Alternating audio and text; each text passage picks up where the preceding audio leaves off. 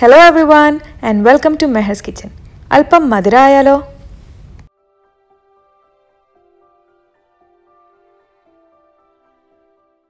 ഖീർ.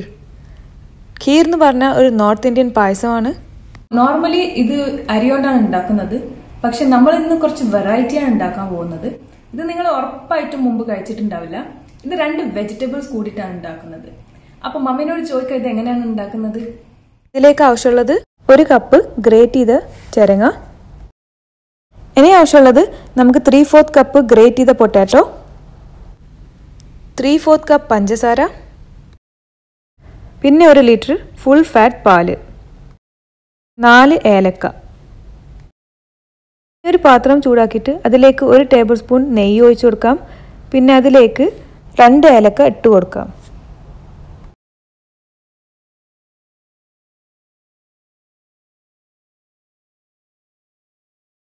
ഇനി ഇതിലേക്ക് ചിരങ്ങ ഇട്ട് കൊടുക്കുക എന്നിട്ട് നന്നായിട്ട് വഴറ്റി കൊടുക്കുക ഇത് മീഡിയം ഫ്ലെയിമിലാണ് വഴറ്റേണ്ടത്. ചിരങ്ങി ഉരുളക്കിഴങ്ങും ഗ്രേറ്റ് ചെയ്ത ഉടനെ തന്നെ നമുക്ക് വഴറ്റിയെടുക്കണം. അല്ലെങ്കിൽ ഇത് കളർ മാറും പിന്നെ ടേസ്റ്റും കുറയും.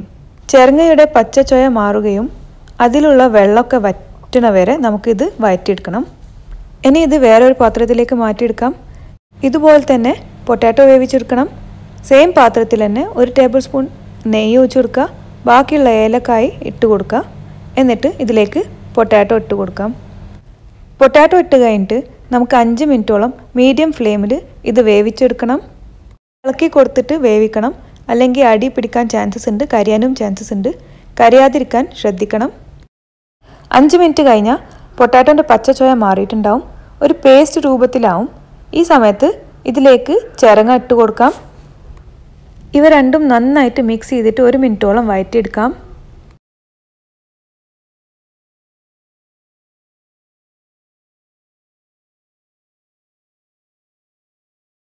ഇതിലേക്ക് ഇനി പാൽ ഒഴിച്ച് കൊടുക്കാം. എന്ന് നന്നായിട്ട് മിക്സ് ചെയ്തെടുക്കാം. ഇതിൽ ലംസ് ഒന്നും കാണാൻ പാടില്ല. ലംസ് എന്തെങ്കിലും ഉണ്ടെങ്കിൽ അത് നന്നായിട്ട് ഉടച്ചെടുക്കണം. അഞ്ച് മിനിറ്റ് ഇതെല്ലാം വേവിച്ചെടുക്കണം. എന്നിട്ട് ഇത് ഇടയ്ക്കിടയ്ക്ക് ഇളക്കി കൊടുക്കണം. അഞ്ച് മിനിറ്റിന് ശേഷം ഇതിലേക്ക് പഞ്ചസാര ഇട്ട് കൊടുക്കാം. പഞ്ചസാര നിങ്ങൾ ആവശ്യത്തിനനുസരിച്ചിട്ട് കൂട്ടോ കുറക്കോ ചെയ്താൽ മതി. പാലൊന്ന് ബോയിൽ ആവാൻ തുടങ്ങിയാൽ ഗ്യാസിന്റെ ഫ്ലെയിം ലോ ആക്കിയിട്ട് ഇത് അരമണിക്കൂറോളം ഇടയ്ക്കിടയ്ക്ക് ഇളക്കിയിട്ട് വേവിച്ചെടുക്കണം.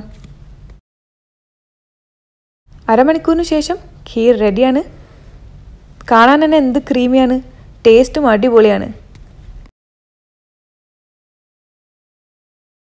ഇനി ഒരു പാത്രത്തിലേക്ക് മാറ്റി എൻജോയ് ചെയ്യുക. ചൂടോടുക്കനെ തിന്നാൽ നല്ല ടേസ്റ്റാണ്. പക്ഷേ ഇത് ഫ്രിഡ്ജിൽ വെച്ചിട്ട് തണുപ്പിച്ചിട്ട് തിന്നുകയാണെങ്കിൽ ഒന്നും കൂടി ടേസ്റ്റാണ്. അപ്പോൾ എന്തായാലും ട്രൈ ചെയ്യുക എന്നിട്ട് നിങ്ങളുടെ അഭിപ്രായം ഞങ്ങളെ അറിയിക്കുക. ഖീറിന്റെ റെസിപ്പി ഇഷ്ടമായ ലൈക്കും ഷെയറും ചെയ്യാൻ മറക്കരുത്. ചാനൽ സബ്സ്ക്രൈബ് ചെയ്യാൻ എന്തായാലും മറക്കരുത്. കൂടെയുള്ള ബെല്ലൈക്കണും പ്രസ് ചെയ്തേക്കണേ. എന്നാലുള്ളൂ ഞങ്ങളെ പുതിയ റെസിപ്പീസിന്റെ നോട്ടിഫിക്കേഷൻ കിട്ടുക. Thank for watching